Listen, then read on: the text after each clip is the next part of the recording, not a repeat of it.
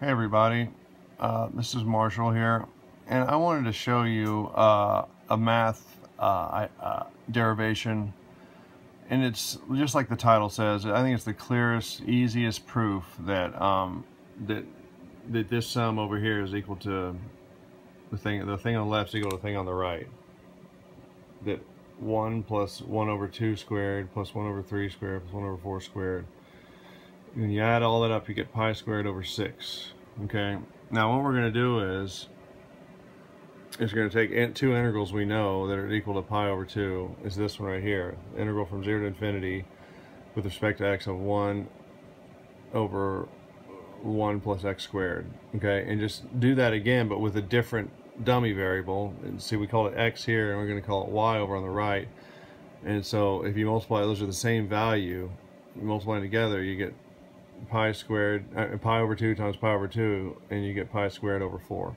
Okay, so let's just do that, and, and so you're going to have a double integral when you multiply those together, and you're going to have uh, with dx and times dy, and then we're going to move that to polar coordinates, transform to polar coordinates, so that x equal rho times cosine of theta, y is equal rho times sine of theta, so once again, we have the same thing on the left side. Pi squared over 4 is equal to integral from 0 to infinity. Uh, and then the integral from 0 to pi over 2, that's going to be for the angle, or theta. Um, and once you multiply that out, you get 1 plus rho squared plus rho to the fourth. Sine squared times cosine squared. Um,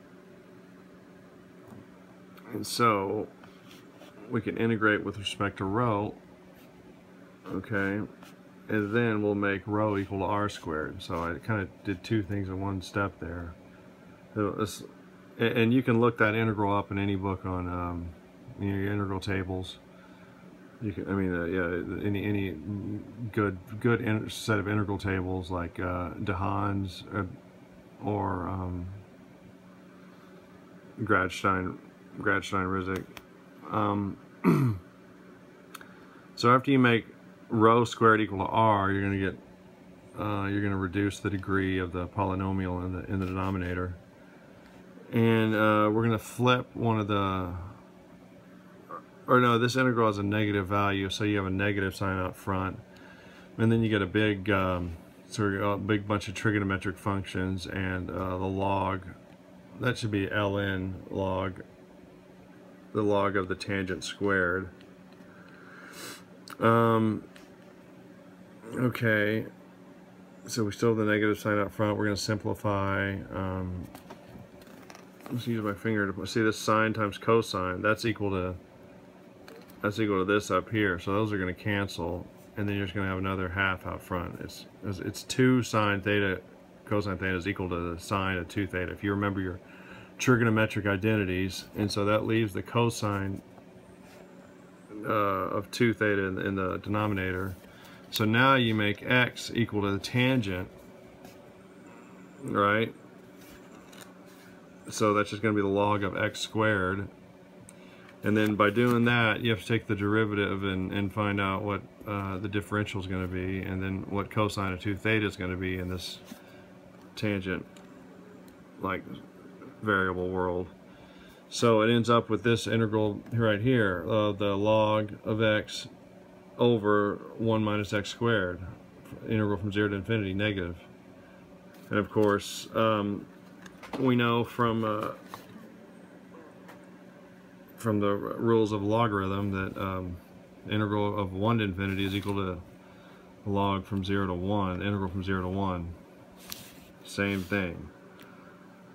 Um, so that gives us another 2, so that we can double, so we have double, so that, so that 4 becomes 8 in the denominator on the, on the left-hand side, because we have 2 of what we need, so we just brought it out here and divided by. Um, so we have the integral from 0 to 1, because they have the same thing, we have 2 of what we need, so we just made it this one, the easy one, 0 to 1, okay?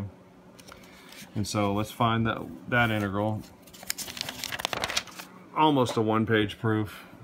It kind of is, but um, so we used uh, integration by parts, you know, good old meat and potatoes way to do evaluate this integral here. And if you evaluate this at 1 and then 0 and then subtract, uh, you get negative 1 over uh, n plus 1 quantity squared. Um, and so that took care of one of our integrals. No, that, that's what we need to evaluate this. Yeah, this is this is what we need to evaluate this. Um, so that shows you where the 1 over the square term comes from, from right here. And so you just go ahead and do that in each of these cases and you're going to get uh, and just ignore this this thing at the top, this derivation at the top. Just we're starting from here. And so we, we expand the denominator at as an infinite series, right? And then we just do each of these integrals. And in each case, they're going to give you this. The, the power of this squared in the denominator. So that's what happens. Um, but we're just, it just gave us the even number, I mean the odd numbers, right? So we're to have to um, come, come up with another way to get what we wanted because that we wanted all the whole numbers, not just the odd numbers. So, so you can do this simple little, um, we're looking for this, and here's what we have. Um, so it, it ends up being pi squared over 6 uh, when you because s is um, like we said here, s is equal to the sum of all the whole numbers squared, 1 over. And so s, that's what we, when we solve the simple algebra here, we, we, we use this, the fact that we had pi squared over 8 was equal to just the odd numbers in the denominator squared. We use this fact right through here and solve for all numbers, all whole numbers in the denominator squared, added up and you get pi squared over 6. Two pages. Now, if you were, the standard derivation of this goes either you use, um, use complex variable analysis, um, and you, um, you evaluate, use your residue theory, Cauchy's residue, residue theorem, and evaluate that, or or you, you use Euler's um, expand uh, sine over x as an infinite product. And and and then you know the fact that if if um, if you add up all of the uh, roots it's equal to the the linear term the coefficient of the linear term if you add up all the roots to uh, a polynomial and so but that's really tough because you have to know um, prove that that that, that works on an infinite if when you have an infinite number of roots because the sine sine function has an infinite number of roots. So this is easier, this proof. Um, it's, it's more clearly uh, clear cut because you're just evaluating a double integral. Pr pretty sort of nasty one at times, but a, fairly straightforward double integral. Um,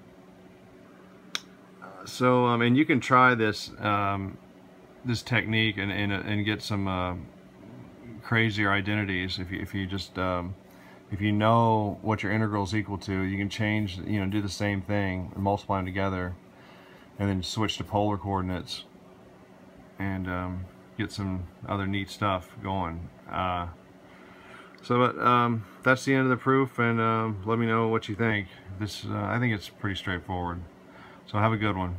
Bye